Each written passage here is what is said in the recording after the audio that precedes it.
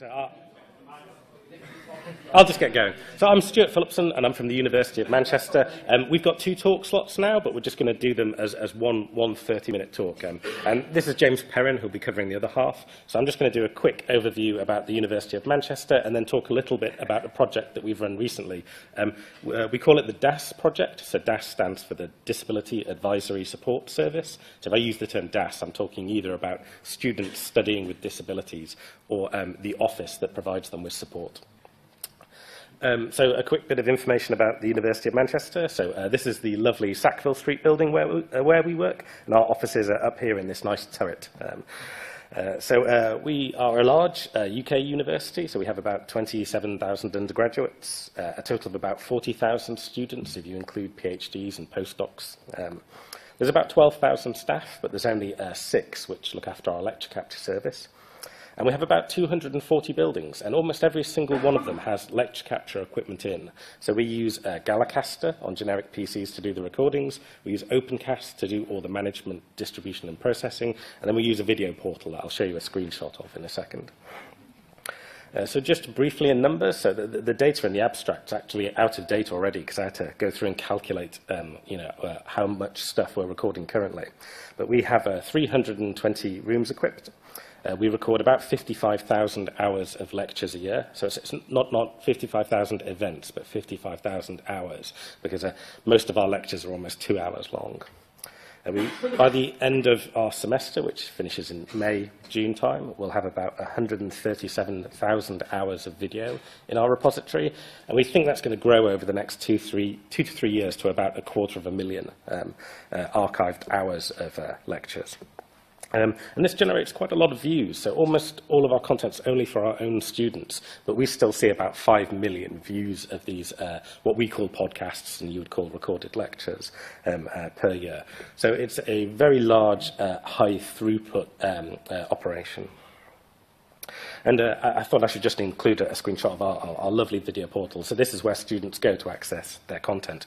Most of it is just simply uh, PowerPoint recordings. So we record from the projector uh, with sound, and then, then, we distribute that and we call it a podcast. But increasingly, you're seeing more sophisticated video-based content. So this is a, a, lesson series being taught on sign language. Uh, so um, we've do, we didn't start, uh, you know, lecture capture, you know, immediately going and recording 55,000 hours a year. That, that's changed over time.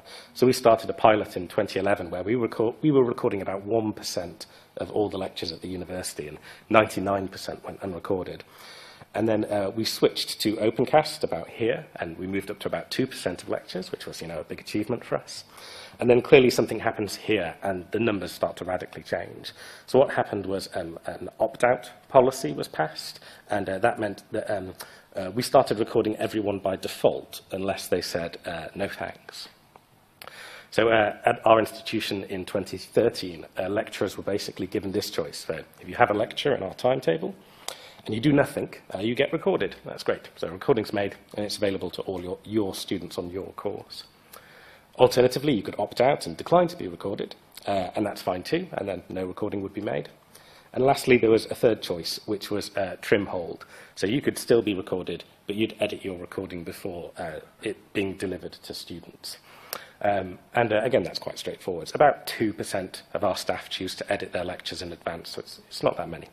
And uh, we've been operating like this for the last three years, I think. Um, and uh, there's a problem with this. We, we have a policy that says we're going to record people by default, but it had a little asterisk at the end that said um, if you were a student with disabilities and you needed a recording, we would make a recording regardless of this opt-out option. So uh, something like this.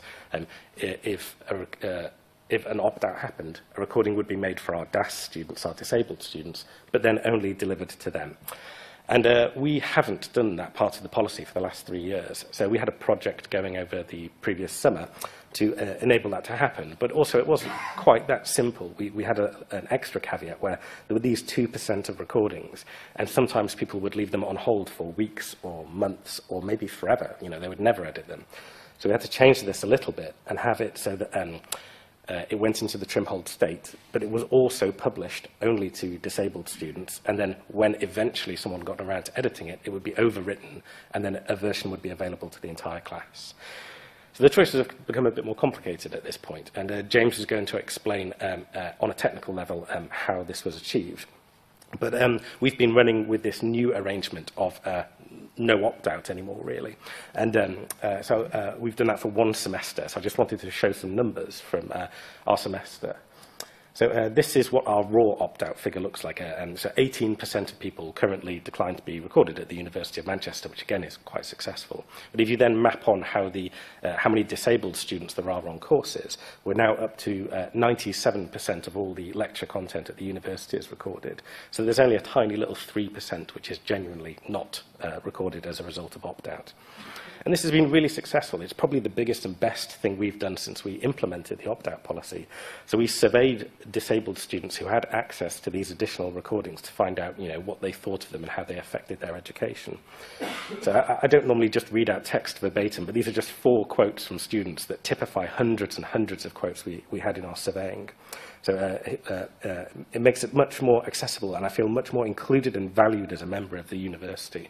So this is ide an ideal outcome for us, that we're uh, enabling disabled students in a way that wasn't previously possible. Another student said it completely transformed how they were able to learn. And uh, uh, this student said this has genuinely been perhaps the most important help from the entire DAS experience. And then lastly, I quite liked this quote, uh, never get rid of podcasts or I would fail without them. So we're having quite a substantial impact in terms of how they think about lecture capture. And then we asked them some more sort of uh, precise questions we could get data on. So we asked how often students, these again are specifically students with disabilities, how often did they use lecture capture? And uh, five is uh, uh, very often and four is often. So um, uh, we've got nearly 90% of students using these recorded lectures uh, frequently. Uh, we asked them how important they regarded these additional opted-out lectures, uh, and uh, uh, we had 82% calling them essential. And then if you add that with the next nearest category, it goes up to something like 96%, seeing these as a very important part of their education. Uh, we were worried about microphones, so this is a good microphoning setup, and we were concerned that staff that opted out wouldn't make the effort to put on lapel mics, or they might you know, try and interfere with the microphones in some way. So this trend going in this direction is a positive one for us, where it appears that most students say that their, their recordings are not having routine microphone issues. Uh, we were also concerned that our timetabling data might not be so good and we might miss uh, recording events uh, uh, that we should record but that don't get recorded because of bad timetable data. And it is an issue, but not quite as bad as we thought it was. And then uh, the last couple of questions we asked, we uh, asked them uh, uh, if they believed it would make a, a difference to their assessment marks. And again, you know, 64% saying that they believe that uh, it would make a significant improvement to their, their end of unit assessments.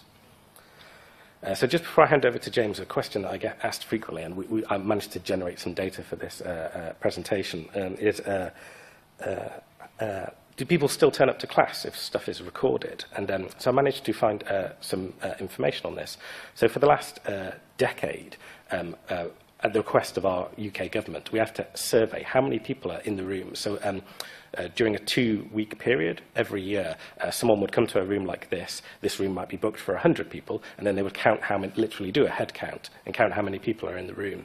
And uh, we get graphs like this. So uh, the top blue bar is uh, the percentage occupancy that is expected, and then the green line is the um, actual occupancy. Um, and then uh, this is uh, 10 years worth of data. And if you map on our lecture capture statistics, you can see that these trends really haven't changed. In fact, um, the actual occupancy is closed by like 1 or 2% on the expected occupancy. And this is across thousands and thousands of samples uh, done over a 10-year period. So we're reasonably confident that either lecture capture has no effect on attendance or you know, again, lecture cap uh, attendance would have to have gone up massively in some units in order for it to have gone down in others. Okay, so um, I'll hand over to James now just to do the technical bit, and then we'll take questions at the end, of that. okay.